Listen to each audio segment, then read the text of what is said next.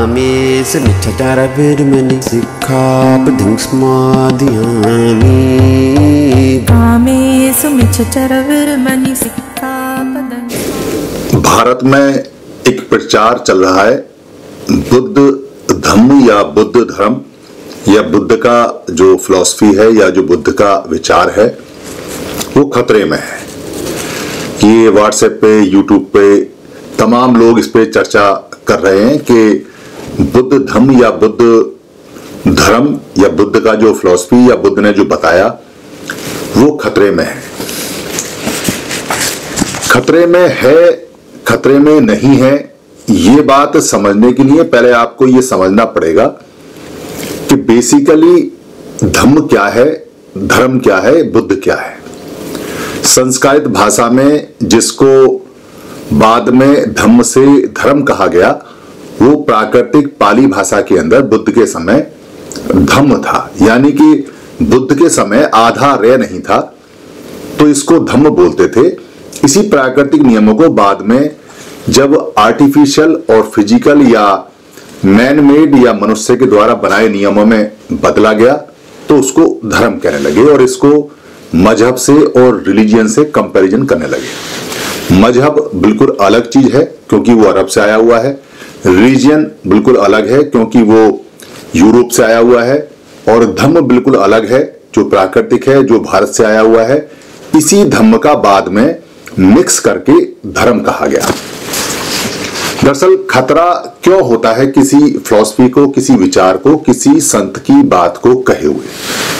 जो सबसे पुराने संत हैं और जो सबसे जाने माने दुनिया के अंदर विश्व गुरु कहलाए जाते हैं, अकेले विश्व गुरु है, क्योंकि पूरा विश्व उनको मानता है।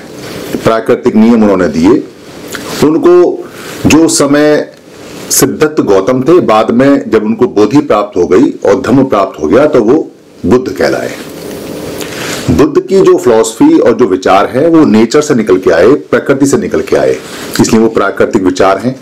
उन्होंने उनको ढूंढा, बनाया नहीं। उन्होंने उनको जाना उन्होंने उनको अनुभव किया, तब बताया। यानी वो प्रकृति में पहले से विद्यमान थे, अभी भी हैं।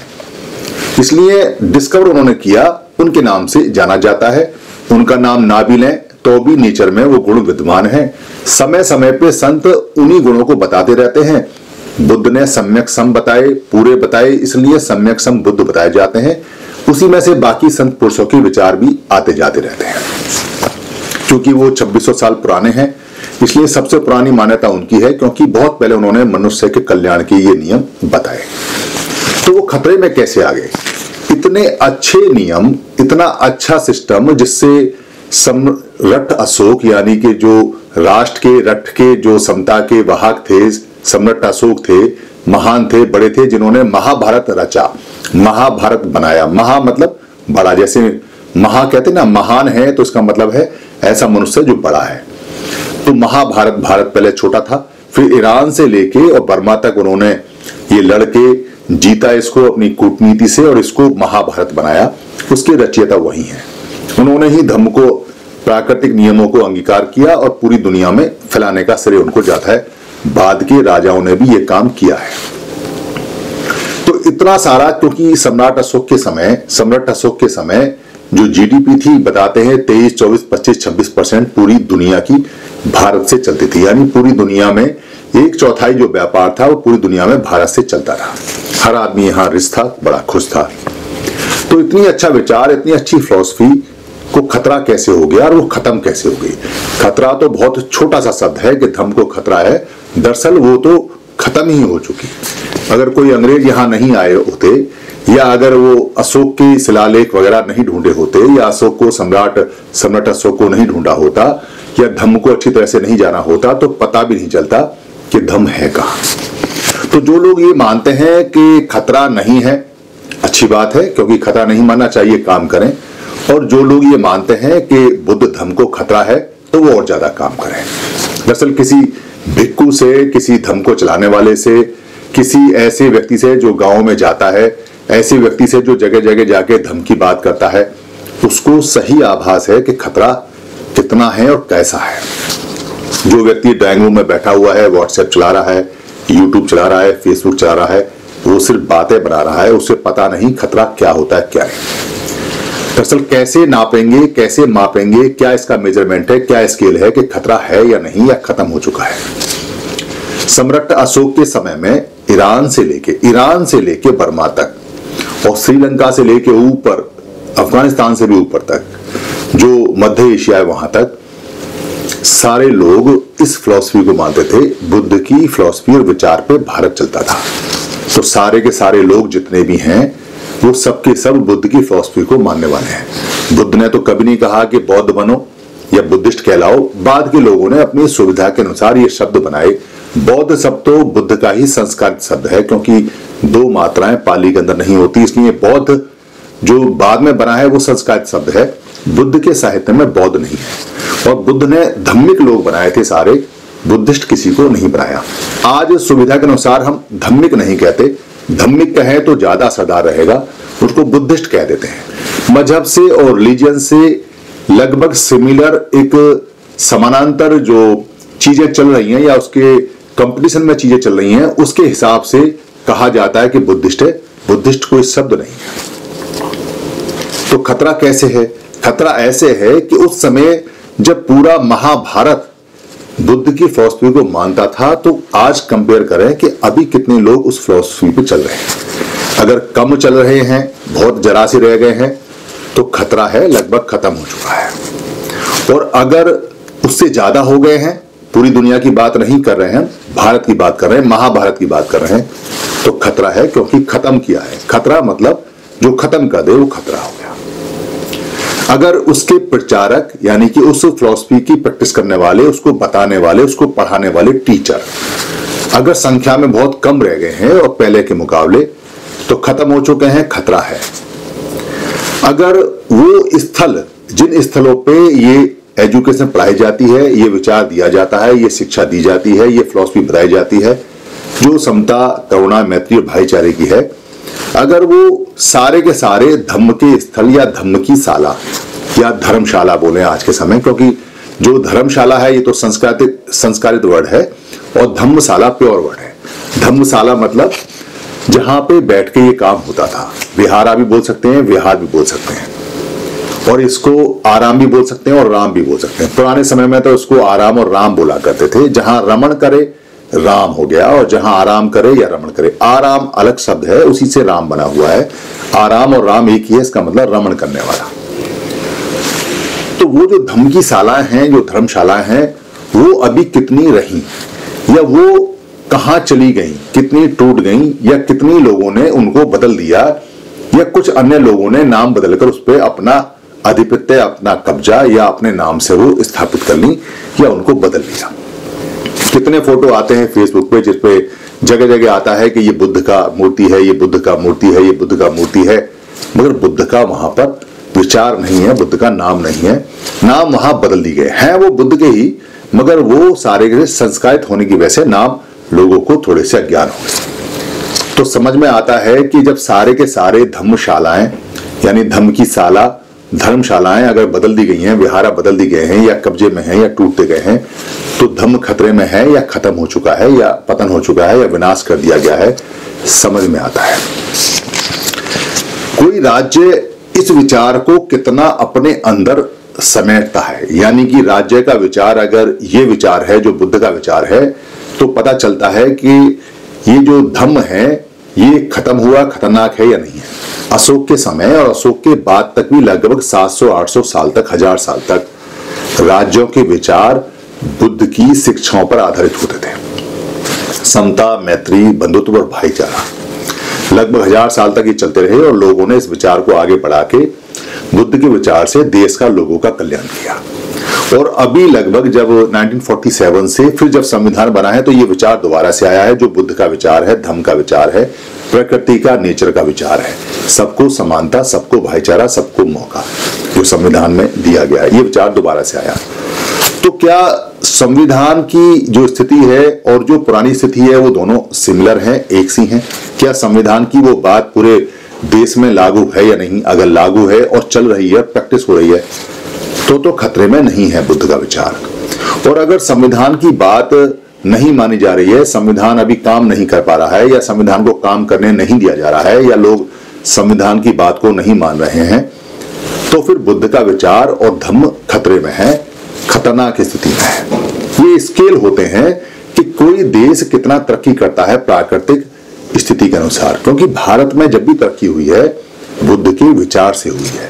महाभारत बना तो बुद्ध के विचार से बना, और जब खंड खंड भारत हुआ और भारत टूट गया, यहाँ से श्रीलंका चला गया, अफ़गानिस्तान चला गया, पाकिस्तान चला गया, ईरान चला गया, नेपाल चला गया, भूटान चला गया, बांग्लादेश चला गया, बर्मा चला गया तो फिर हमारा जो महाभारत है, वो छोटा भारत होके रह गया। उसकी रचयिता अगर सम्राट अशोक आज होते, सम्राट अशोक होते तो शायद और भी बड़ा भारत बनते। हम ईरान से इराक की तरफ़ बढ़ जाते, इधर हम ऊपर पूरे यूरेशिया की तरफ़ बढ़ जाते और नीचे भी हम इधर बढ़ जाते तो शायद भगवान बुद्ध की फिलोसफी से या बुद्ध की फिलोसफी से या भगवान बुद्ध के विचार से और ज़्यादा तरक्की होती, फिर ये खतरे में नहीं रहता। तो ये कुछ मानक हैं कि लोग कितने रह गए।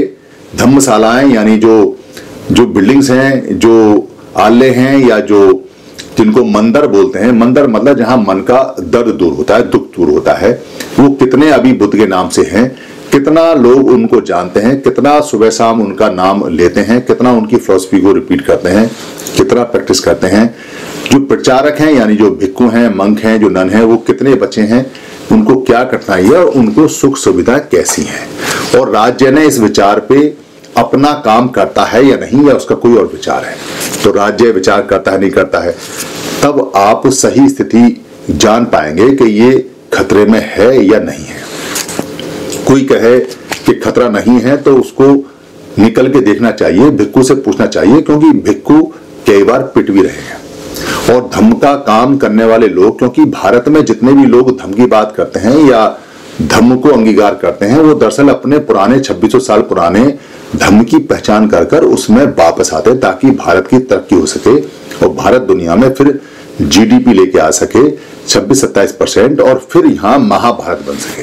जो देश जा चुके हैं, वो देश फिर दोबारा से आ जाए। क्योंकि बुद्ध के 2600 साल के बाद ही लगभग 600 साल बाद ईसा मसीह आए हैं। तो ईसा मसीह 600 साल बाद विचार लेके आए हैं। मोहम्मद मुस्तफ़ा सल्लल्लाहु अलैहि वसल्लम, उसके लगभग 600 साल बाद इस्लाम लेके आए हैं। और उसके बहुत बाद में जाके जो गुरु नानक या और जो बाकी संत हैं, वो सब आए हैं। तो सबका ध्येय एक ही है, सुख और शांति, समता और वृद्धि। अलग अलग तरीके से बात कही है, मगर सबने एक ही बात कही है। तो बुद्ध का जो धम है या विचार है, कैसे खतरे में है? बुद्ध की जो भाषा थी, उसको सारे के सारे लोग बोलते हैं। यानी बुद्ध ने जिस भाषा में, भाषा बुद्ध ने नहीं बनाई, भाषा प्रकृति ने बनाई है। प्रकृति ने जो भाषा बनाई है, पाली, उसको आज नाम दिया गया है। जो पाली भाषा है, पाली भाषा पूरे भारत में बोली जाती है अलग अलग तरीके से। क्योंकि यही जन जन की भाषा थी, यही बोली थी, थोड़ी चेंज हो गई है, मगर सारी की सारी वही है। उस पाली भाषा का जो स्पेशल भाषा है, जो समय बुद्ध की भाषा है, उसको कई बार यूपीएससी में एग्ज़ाम देने से रोक दिया, लोगों ने संघर्ष किया, उसका कहीं पढ़ाया नहीं जाता। पढ़ने के लिए स्पेशल कहना पड़ता है। यानी कि जैसे और भाषा है, क्षेत्रीय भाषा है, या जो और ऐसी भाषा है, जो संस्कृत भाषा है उनको प्रमोट किया जा सकता है। उनके विश्वविद्यालय है, मगर पाली का विश्वविद्यालय या महाविद्यालय या विद्यालय या चॉइस नहीं है कि स्टूडेंट उसमें से चूज़ कर सके। जैसे मैंने खुद जब मैं पढ़ता था तो मेरे को आठवीं तक संस्कृत पढ़ाई गई।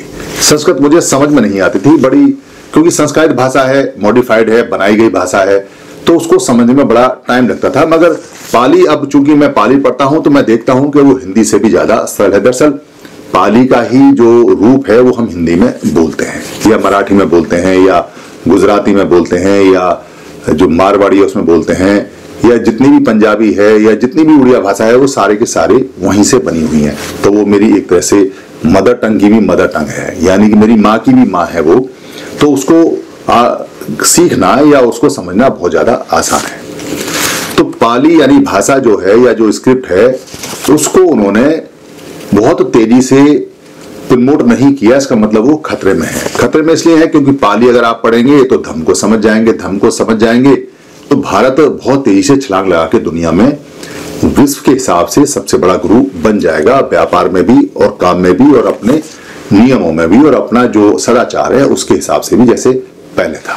और जैसे पहले यहाँ तेईस तेईस महाविद्यालय थे, उस समय के हिसाब से यहाँ एजुकेशन बढ़ जाएगी। तो आप चिंतन करिए, आप मनन करिए कि क्या आपका जो नियम है, यानी कि जो बुद्ध का पर्सनल लॉ है, उसके लिए जो संघर्ष कर रहे हैं लोग, या जो बौद्ध गया के लिए संघर्ष कर रहे हैं, यानी कि भारत में बुद्ध का जो स्थल है, जन्म स्थल है, और जहाँ बुद्ध ने अपना पूरा पूरा ज्ञान प्राप्त किया, वो भी आज की डेट में लिबरेट, यानी आज़ाद नहीं है, जो यहाँ की उस फिलोसफी को मानने वाले लोग हैं, उनको नहीं है। समय समय पे बहुत सारे भिक्खु बौद्ध गए आज़ाद करो के नारे लगाते हैं, मगर कोई सुनने वाला है नहीं। तो इसके हिसाब से आप अंदाज़ा लगा सकते हैं कि वो अभी खतरे में है या नहीं है। जो धर्म के जानने वाले लोग हैं या जो धर्म को मानने वाले लोग हैं, उनको सुविधाएँ नहीं है। सरकार की तरफ़ से उन्हें कोई सुविधा नहीं मिलती और उनका प्रचार प्रसार बातों का रोक दिया जाता है। उसके लिए बार बार बार बार बार बार भारत के धर्म के लिए, भारत के लोगों को भारत के अंदर ही परमिशन लेनी पड़ती है। एक बड़ी अजीब सी बात है। दुनिया में जहाँ और मज़हब के या और रिलीजन के लोग हैं, उनके साथ ऐसा नहीं होता। मगर भारत में भारत में पैदा हुए जो बुद्ध धर्म है, जो बुद्ध हैं, जो विश्व गुरु हैं, उनके किसी काम काज के लिए यहाँ रिस्ट्रिक्शन होती हैं। अगर कोई आदमी अपने घर वापस आता है, पचास या सौ आदमी हम कहते हैं कि हम तो भारत की पुरानी पद्धति, भारत की मूल पद्धति, भारत की ओरिजिनल पद्धति में अपने घर वापस आना चाहते हैं तो लोग कई बार उनके खिलाफ एफआईआर भी दर्ज करा देते हैं। जबकि बुद्ध कोई ऐसा मज़हब या रिलीजन के हिसाब से कंपेरेटिव नहीं माना जाता। आप देखेंगे तो यहाँ सबसे बड़ा जो नुकसान हुआ है, वो ये हुआ है कि बुद्ध का जो साहित्य है, बुद्ध की जो फिलॉसफी है, जो लिखी गई, वो मिक्स कर दी गई। और मिक्स करने से वो बहुत ही ज़्यादा खात्मे की तरफ़ बढ़ गई और वो बहुत ज़्यादा उसको नुकसान हुआ। इसलिए धम्म खतरे में है। धम्म इसलिए खतरे में है क्योंकि अगर आप उसका शोधन नहीं करेंगे, उसको शुद्ध नहीं करेंगे, जो धम्म की वाणी है तो अशुद्ध चीज़ को अगर आप पढ़ाएँगे तो धम्म फिर अशुद्ध हो जाएगा और अशुद्ध धम्म ही भारत के अंदर रन कर रहा है, चल रहा है। बड़े बड़े जो महापुरुष हैं, जैसे डॉक्टर अंबेडकर हैं, या जैसे और भी जो बड़े जो महापुरुष हैं, उन्होंने उसका अध्ययन किया है और जो लोग अध्ययन करते हैं, वो जानते हैं कि इसके अंदर बहुत ज़्यादा अशुद्धि है, इसको मिक्स किया गया है। बहुत सारे शब्द ऐसे हैं जो बाद में जोड़े गए हैं। बहुत सारी किताबें ऐसी हैं जो बाद में लोगों ने टीका टिप्पणी करके रेफरेंस के रूप में, मीमांसा के रूप में वो लिखी हैं। जो कि उस फिलॉसफी से मैच नहीं करती जो भगवान बुद्ध ने दी हुई है। क्योंकि भगवान बुद्ध तो बिल्कुल स्पष्ट थे और उन्होंने तो एक ऐसा सूत्र भी दिया हुआ है कि आप उनकी बात पे यकीन ना करें मतलब चेक कर लें उसको कि वो ठीक है या नहीं है। तो सारी बात अगर आप चेक करेंगे तो आप पाएँगे कि भगवान बुद्ध की जो साहित्य इतना बड़ा बड़ा चल रहा है, वो बहुत ज़्यादा मिक्स है। अब इस मिक्स को, इस मिश्रित को, इस मिले हुए को, इस अशुद्ध को शुद्ध करने का काम थोड़ा सा मेहनत वाला है, मुश्किल नहीं है। क्योंकि आप ईमानदारी से, समता से, करुणा से देखेंगे तो आसानी से पा लेंगे कि क्या रीजन है, क्या नहीं है। मैं एक एग्ज़ाम्पल आपको देता हूँ। जैसे धम्मपद धम्मपद के अंदर बहुत सारी मिक्सिंग है। धम्मपद के अंदर एक वर्ग है, जिसको ब्राह्मण वर्ग बोलते हैं। अब ब्राह्मण शब्द पाली का नहीं है आधार है पाली में नहीं होता है। ब्राह्मण एक रंग को बोलते हैं, यानी कि वर्ण को बोलते हैं। वर्ण माने रंग होता है।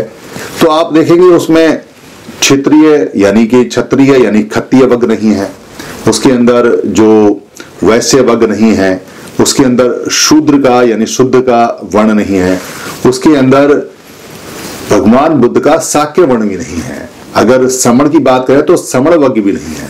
तो ऐसा नहीं हो सकता कि भगवान बुद्ध किसी वर्ण को या जाति को या कोई चीज़ को ऐसे को प्रमोट करें, क्योंकि जाति तो उस समय होती नहीं थी।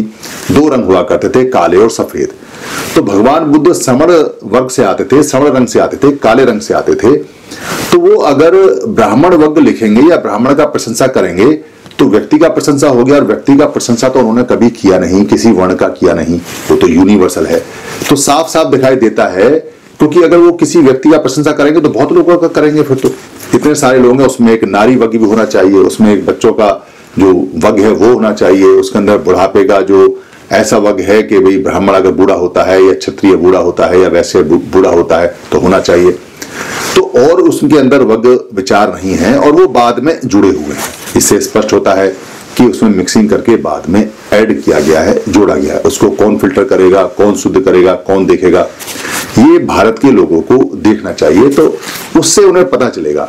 फिर कुछ बातें उस साहित्य में ऐसी हैं जो कल्पनाओं पे आधारित हैं, जिनका ना सर है ना पैर है। वो सब बाद में जोड़ी गई हैं। भगवान बुद्ध ने पूरी जो फिलोसफी बताई है, वो मन की और मस्तिष्क की, जीवन की और मृत्यु की, और कारण की और उसके परिणाम की बताई है। सारा सारा उनका बेस कारण और परिणाम पर आधारित है। कारण और परिणाम परिणाम और कारण ये चलते रहते हैं, घूमते रहते हैं। उस पर आधारित सारी उनकी विचार है और वही सत्य है। सारी दुनिया के साइंटिस्ट उसी को आज भी खोजते हैं, आज भी देखते हैं। तो फिर किसने उसमें ऐसी ऐसी बातें जोड़ दी जो कल्पनाओं की और कल्पनाओं से परे की भी हैं? जो समझ से परे की हैं, आप अपना सर ढूंढते रह जाएँगे, आपको पल्ले नहीं पड़ेगी। अनंत, आपको ऐसा लगेगा कि जैसे बुद्ध का जो फिलोसफी है, वो भी बाकी फिलोसफियों जैसा ही है। अरे, इसमें भी वही है, उसमें भी वही है। ये मुगालता, ये गलतफहमी, ये इल्यूजन ये भ्रम आपको हो जाएगा और आप धम्म की तरफ़ से विमुख हो जाएँगे, बुद्धिजीवी होते हुए भी। तो ये सारी चीज़ें उसको खत्म करने के लिए, उसको बदलने के लिए, उसको खराब करने के लिए बहुत पहले से किन्हीं लोगों ने डाली हैं, अभी वो ठीक करनी है। इसलिए जो लोग ये समझते हैं कि बुद्ध धर्म खतरे में नहीं है, उनके लिए बहुत अच्छी बात है, वो उसमें रहें, माने, करें। मगर जो लोग ये समझते हैं कि बुद्ध धर्म खतरे में उनको ज़्यादा काम करना चाहिए, ज़्यादा लोगों से संपर्क करना चाहिए फिलोसफी को अच्छी तरह समझना चाहिए, साहित्य को पढ़ना चाहिए, उनको देखना चाहिए कि भारत में जो करोड़ों लोग धर्म को पहले मानते थे, वो थोड़े से क्यों रह गए? भारत में जो इतनी सारी धर्म की शालाएँ थी, वो कहाँ गायब हो गई? भारत में जो इतने सारे विश्वविद्यालय थे धर्म के, वो कहाँ चले गए? जो इतने सारे धर्म गुरु थे या धम्म मंग थे या भिकुणी थी या भिकुणी संघ थे वो कहाँ चले गए? या धमकी बात करने पे लोग डरने क्यों लगे? या क्यों आज धमकी बात को प्रचारित नहीं होने दिया जाता? या क्यों आज भगवान बुद्ध की अस्थियाँ नेशनल म्यूज़ियम में रखी हुई हैं? दिल्ली के अंदर, क्यों उनके ऊपर आज एक बहुत विशाल इंटरनेशनल लेवल का कोई विहार या कोई स्तूप या कोई थूप या कोई मॉन्यूमेंट राजधानी जैसे क्षेत्र में क्यों नहीं बन रहा है? क्यों वो वहाँ पड़ी पड़ी सड़ रही हैं? क्या भगवान बुद्ध की जो अस्थियाँ या हड्डियाँ हैं या जो रिलिक्स हैं, उनकी सिर्फ़ इतनी ही मान्यता है उस देश में, जिस देश में वो पैदा हुए और पूरी दुनिया में छा गए। ऐसे विश्व गुरु की हड्डियाँ सिर्फ़ हम देखने के लिए रखेंगे वहाँ। क्या उनसे प्रेरणा नहीं मिलेगी? क्या उनसे विश्वविद्यालय नहीं बन सकता? भगवान बुद्ध की अस्थियों से बहुत बड़ा काम भारत में हो सकता है, टूरिज़्म डेवलप हो सकता है, जिसमें करोड़ों डॉलर आ सकते हैं हर महीने के हिसाब से। तो इस संदर्भ में, इस बात को देखते हुए आप खुद फैसला कीजिए कि भगवान बुद्ध का या धर्म की जो फिलॉसफी है या धर्म का जो विचार है, वो खत्म हो चुका है, निकल रहा है बाहर, या फिर दोबारा से खत्म हो रहा है, या डॉक्टर अंबेडकर के 19 उन्नीस के बाद में जो बहुत तेज़ी से बढ़ना चाहिए था, वो नहीं बढ़ पा रहा है, क्योंकि अगर कोई चीज़ बहुत तेज़ी से बढ़नी है और वो अगर रुक गई है तो किसी ने रोक दिया है। क्योंकि 10 लाख लोगों ने अगर उन्नीस सौ छप्पन में धम दीक्षा नागपुर में ली है तो अगले साल कम से कम एक व्यक्ति को, एक आदमी को धम के बारे में बताना चाहिए था तो वो 20 लाख हो जाती, और उससे अगले साल वो 40 लाख हो जाती, उससे अगले साल वो 80 लाख हो जाती, उससे अगले साल वो एक एक करोड़ साठ लाख हो जाती। इसके हिसाब से अगले दस साल के अंदर अंदर तक पूरे भारत में वो बात आ जानी चाहिए थी, मगर वो दस लाख के दस लाख ज़्यादा नहीं बढ़ पाए। सेंसस भी ये कहता है कि एक करोड़ से भी कम संख्या भारत में जो बुद्धिस्ट लोग हैं, उनकी है। कुछ बहुत पुराने हैं जिनका बाबा साहब से कोई लेना देना नहीं है। जैसे त्रिपुरा के अंदर हैं या जो जो महायानी हैं, जो उधर लेह लद्दाख के अंदर हैं, या जो उधर ऊपर की तरफ़ भूटान की तरफ़ जो नी, नीचे हैं, वहाँ की तरफ़ हैं। ये कुछ परंपरागत हैं जिनको बरुआ वगैरह बोलते हैं। तो इनका बाबा साहब से कोई लेना देना नहीं है। इनका पूजा पाठ वाला ज़्यादा काम चलता है। इसलिए बाबा साहब की क्रांति से अगर उनको हम अलग भी रखें तो यहाँ ये बात बहुत तेज़ी से फैलनी चाहिए थी। आप देखिए बाबा साहब ने जो संस्थाएँ बनाई थी, क्या वो संस्थाएँ डेवलप कर पाई? क्या उनको राजनीति से बचाया जा सका? क्या वो बहुत तेज़ी से पूरे धर्म का प्रचार प्रसार कर पाई? क्या उनके अंदर कुंठा तो नहीं आ गई या उनको रोक तो नहीं दी गया? आप खुद देखेंगे कि धम्म खतरे में है या नहीं। अगर आपको लगता है कि खतरे में है तो आपको निकलना चाहिए, इस फिलोसफी को फैलाना चाहिए, विचार को फैलाना चाहिए। उसका फ़ायदा यह होगा कि हम भारत की जीडीपी को पूरी दुनिया में फिर ले आएँगे और यहाँ हर आदमी को रोज़गार, हर आदमी को काम मिलेगा। यहाँ फिर सब लोग पढ़ पाएँगे। सारे लोग यहाँ जैसे सम्राट अशोक के समय सभी लोग साक्षर थे पढ़ने पढ़ाई लिखाई करते थे, वैसे यहाँ दोबारा से करेंगे। हम दुनिया में फिर विश्व विजेता हो जाएँगे। खाली कहने से कोई विश्व विजेता नहीं बनता। इसके लिए मेहनत करनी पड़ती है और मेहनत आपकी तब होगी जब आपका विचार प्राकृतिक होगा, शुद्ध होगा, धर्म के अनुसार होगा। इसलिए मेहनत करें क्योंकि पूरी दुनिया आपका इंतज़ार कर रही है। पूरी दुनिया आपको इज़्ज़त की निगाह से देखती है। वो जब बौद्ध ज्ञान को देखती है तो सर झुका लेती है, कहती, हमारे विश्व गुरु को यहाँ ज्ञान मिला था। ये भारत की सबसे बड़ी इज़्ज़त है। इसे भारत से और आपसे कोई नहीं छीन सकता। इसलिए बुद्ध गया आपके पास अगर होगा तो वो बहुत ज़्यादा विशाल डेवलप हो जाएगा। धन्यवाद। टीम 22 पर सभी वीडियो बुक कॉपीराइट फ्री हैं।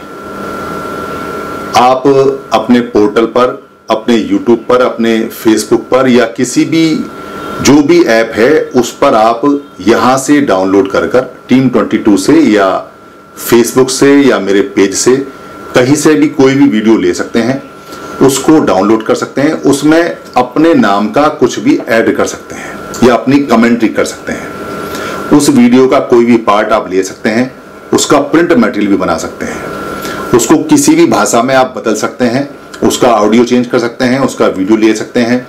आप जैसे भी चाहें टीम 22 की किसी भी वीडियो का या सारी वीडियो का इस्तेमाल कर सकते हैं। ये हमेशा कॉपीराइट फ्री थी और हमेशा कॉपीराइट फ्री रहेंगी। हमारा सिर्फ़ इतना काम होता है कि महापुरुषों की जो बातें हैं, उन बातों को हम सरल भाषा में, आम भाषा में आप तक पहुँचा देते हैं।